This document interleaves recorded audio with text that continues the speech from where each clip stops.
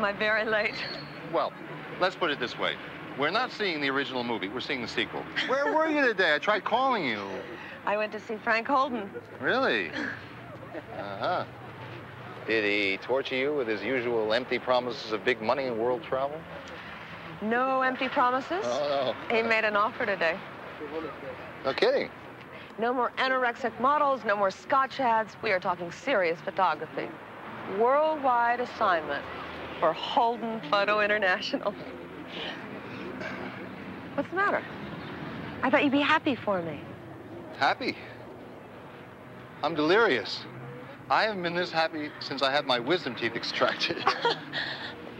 well, I don't understand. What's wrong? Us. You ever stop to think about us? I mean, about our future, even for a second?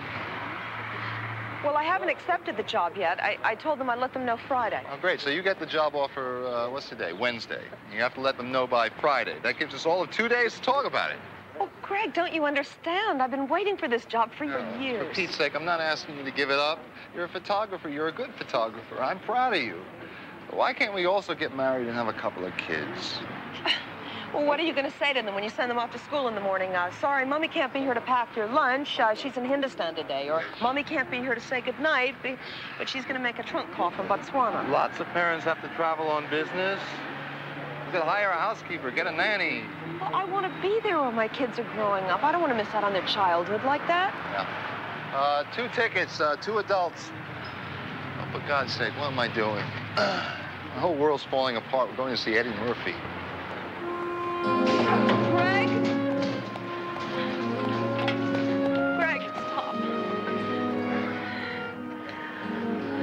I'm sorry. You have a stake in this, too. Just promise me you'll think about it. Really think about it.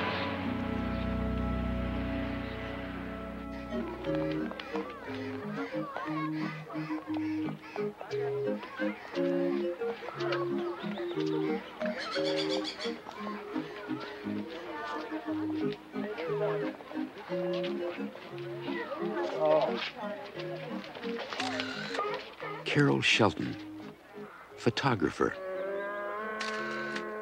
A modern woman with an age-old problem.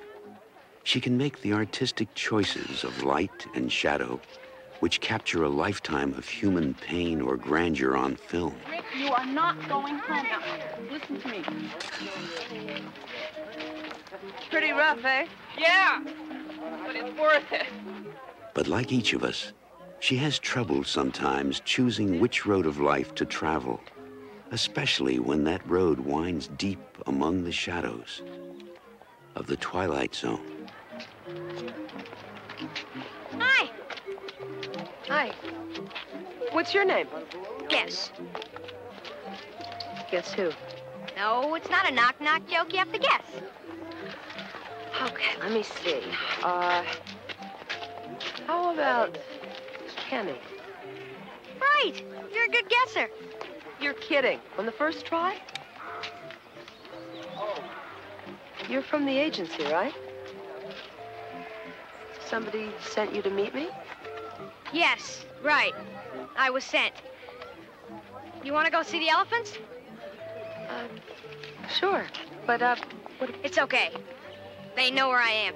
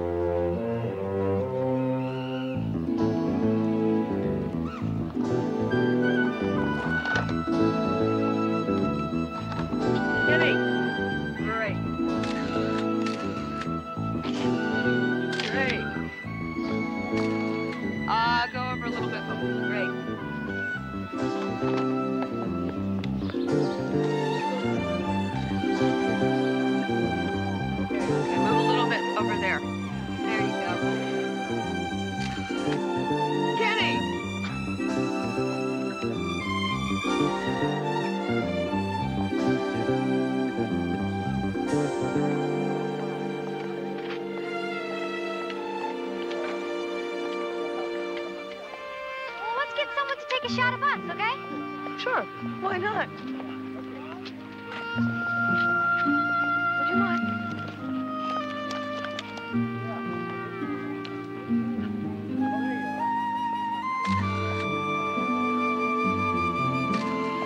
Thank you. This has been the best day. Yes, it really has.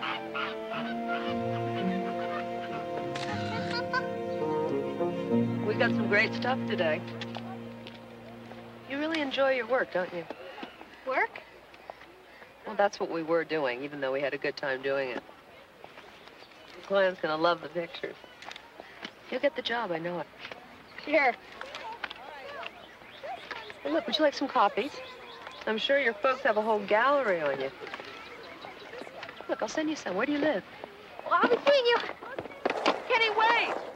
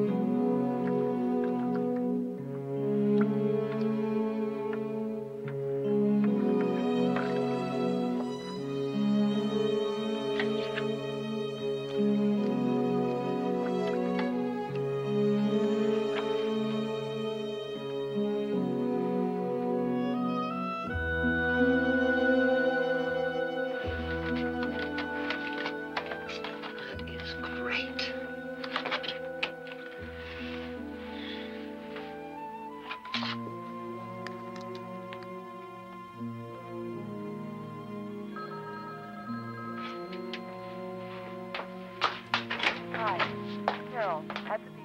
Leave a message and I'll get back. Carol, this is Gina. Sorry about not getting anybody for you this afternoon.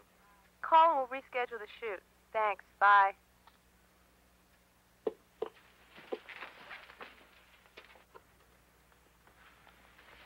Kitty, whoever you are, you got a hell of a lot of chutzpah.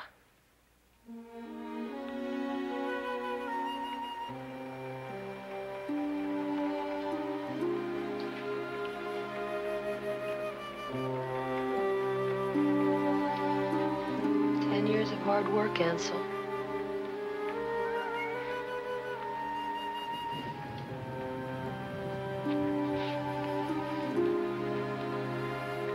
So what now? Take the job or have the family?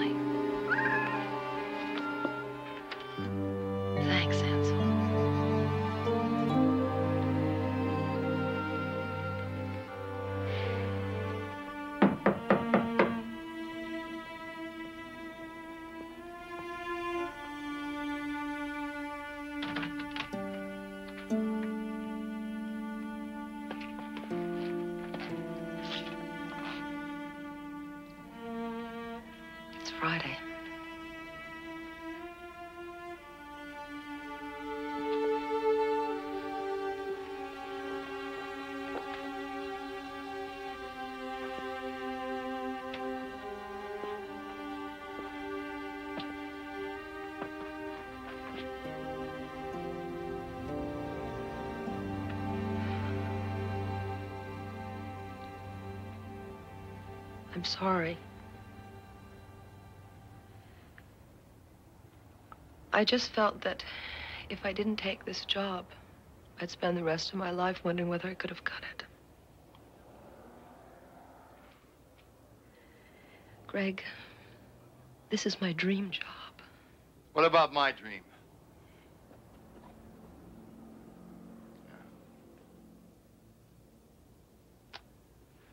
Carol, understand? There's nothing that you can see through this lens that you can't see with your own eyes. How can this thing be as important as us?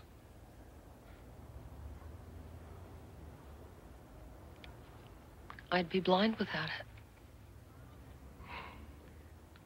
I thought you knew who you were getting involved with. I did know. I just thought I could change your mind. somewhere down the line. Maybe a part of me wanted you to. Well,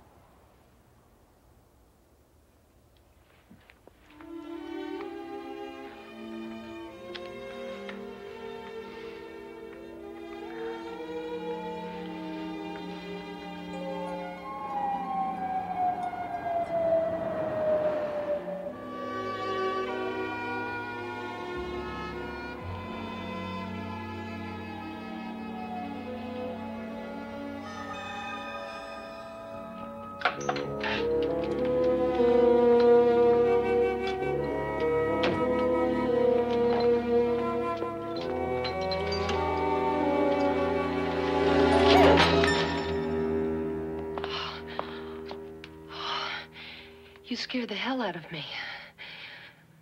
What are you doing here? How did you get in? Honey, what's wrong? You told him no. Why did you tell him no? How did you know that? If you take that job, you'll be gone a lot. I won't be able to see you. Kenny, I just met you. Hey, you lied to me. The agency didn't send you. I never said they did. You thought so, and I figured we could just pretend. I'm sorry. It's okay. We can register you with the agency and you can still have the job. But we'll talk about it later. We've got to go home now. Can we call somebody to come pick you up? Come on. You have to have a home. Someone who cares. All right. Now I'll get a cab and take you home. You don't understand.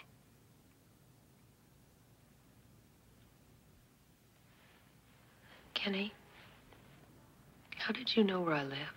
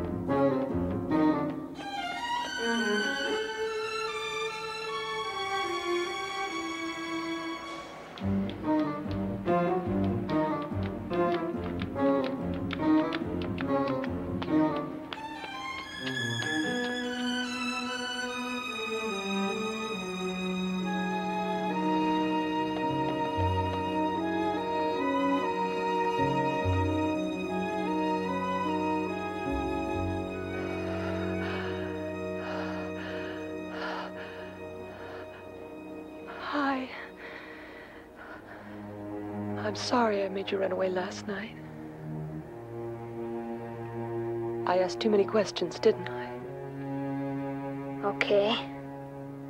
But you already knew the answers. Kenny. I don't know what you mean. Yes, you do.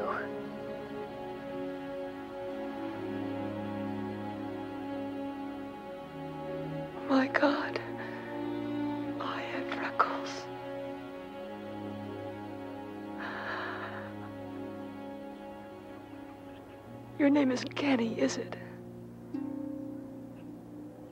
It's whatever you want it to be.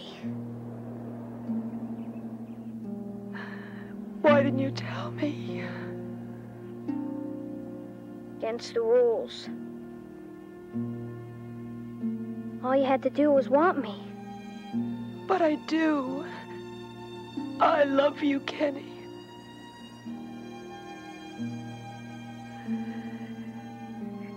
Sometimes you have to make a choice. Why couldn't you choose me? But I will someday. I just can't right now. You can have a little boy someday. And you can name him Kenny. But he won't be me. I'm sorry. I'm so sorry. I understand.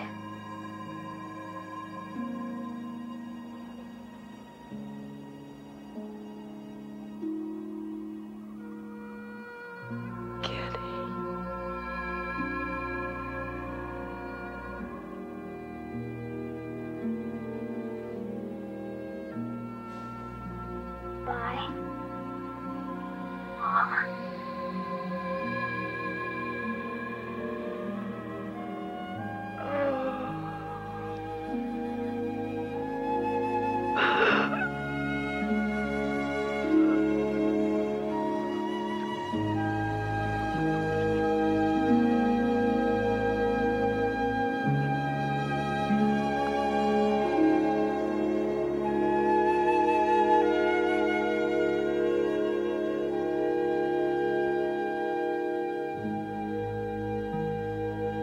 Thanks a lot for watching Ansel.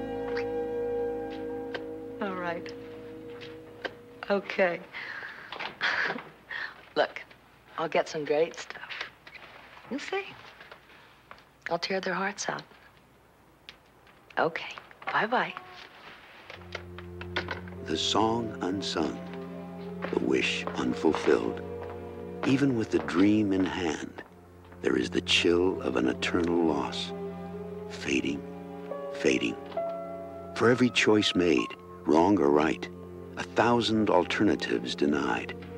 When tomorrow calls, sometimes the heart must be denied. For Carol Shelton, there will be other tomorrows, other joys, and yet, fading, fading.